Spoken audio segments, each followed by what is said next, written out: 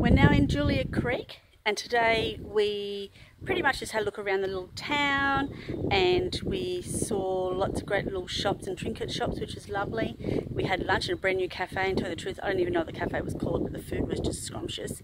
And the other thing I loved was that there was a little museum so we checked out the museum and it talked about all the history of Julia Creek and how Julia Creek was made and the different things, things they kept.